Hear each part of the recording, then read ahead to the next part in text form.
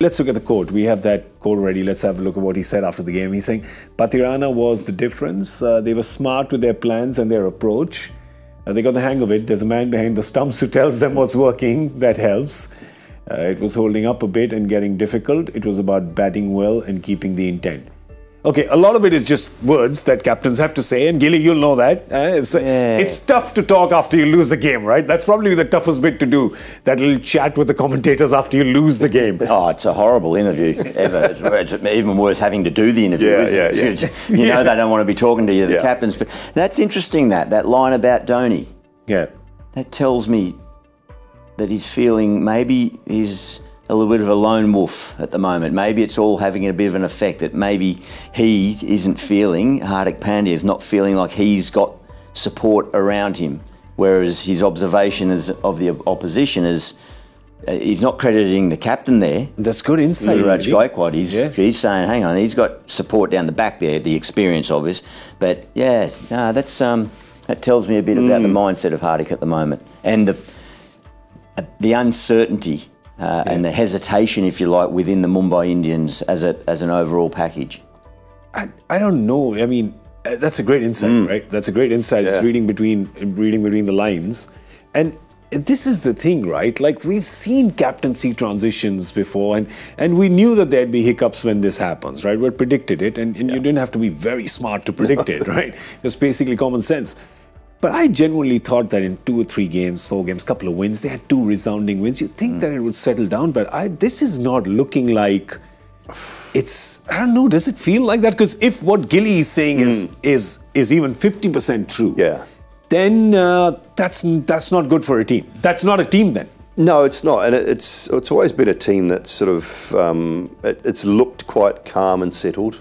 Yeah. you know, in, in the last few years, it's just looked pretty calm, pretty settled. Even in bad times, they've found a way to win some games. If they've had a bad season, they've generally put it behind them. You don't win five titles without being a very good team and having a great setup and a great environment. And when that changes, so many things change with it. Um, you know, the, the, the team talks are completely different. Uh, the new guy's probably trying to stamp his mark. He's probably trying to do things differently because he's been there before. He's, he, he knows what's happened in the past. Yeah. So he's probably trying to bring a different mindset to it. And if there's fractions, if there's some parts of the team that aren't really grasping onto what he wants them to do or aren't really grasping onto the, the setup that he wants to run, it can be very, very difficult. And Yeah. you've still got the former, in both cases tonight, you've still got the former captain Yeah. there. One may be a little disgruntled. The other one just, you know, just wants to help a young man out. Yeah. There So- you go. Uh, That that may be the slight bit of difference I've seen well. even with Indian cricket, Doully, just to add to that, we've seen captaincy transitions. You've seen captaincy transitions a lot before, Hmm. right? Dhoni was captaining when there were four former captains with him, right? Virat was captaining with Dhoni as Yes. captain. Rohit is captain with Virat in the team, right? And it all seems to just worked out okay. Why is this transition not working? I mean, have, you've been part of transitions before as well. They, what's the secret to make them work? I'm thinking, I'm thinking European football. I'm thinking, you know, that we talk about El Galactico, the big game, and what we, Yeah. we know where the foundations of that come, or the origins of that matchup come. Think of those world class, highest profile sporting teams. Yeah. Your uh, Real Madrids, uh, even, even yeah, Barcelona, Man United in the EPL Yeah. um, the New York Yankees over there in the baseball. Because of the success, that can then mean that you become a victim of that success. The expectation, both from within, from owners, hmm. and then the outside noise, and particularly your fans.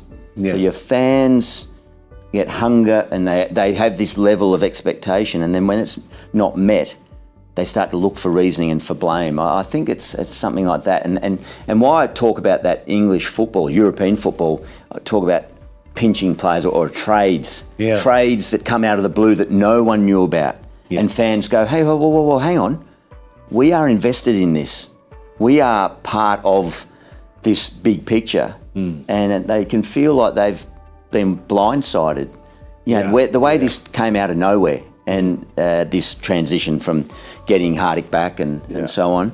Um, was Rohit happy or cons- considered uh, uh, in uh, discussion about it? Who knows? But um, yeah, I think that's probably that's probably why the vitriol's coming I think because that's a- they feel a little bit deceived. I think that's a great point because the problem then is not the transition, the problem is actually the transfer. Because all the other transitions we've seen have actually been a person from in the team. Now, this transfer in itself is shocking because while there have been a lot of transfers, it's a young league, 16 years, but while a lot of transfers have happened in this league before, they've kind of been on the lower end of the spectrum of Yeah. players that have been from the bench, not Yeah. really been used. When you get a captain, this is the first time that's happened. It'll probably be the first of many that'll happen in the future. Yeah. But the first guy through the wall is always gets his nose the bloodiest. Uh, Yeah. yeah, and and such high profile Yeah. person, Hardik Pandya, and also too part of that trade saw Cameron Green, who didn't have the greatest IPL last year, but he certainly did a couple of things right and scored a. A hundred, I think Yeah. he got a hundred. didn't he? promising, For- yes. Yeah, so there was. I think the crowd were investing in him. The supporters, okay, well, this is his shooting star of Australian cricket. Okay, he's one of us. Yep. We'll see him nurtured under Rohit, and so there's a lot at play. So I think that's probably this feeling of deception and, and frustration of being out of the loop. That's why it's coming back towards them at the moment. Doesn't mean they're gone. Yeah. they've know how to fight. Yeah. They've, That's true. they've shown that.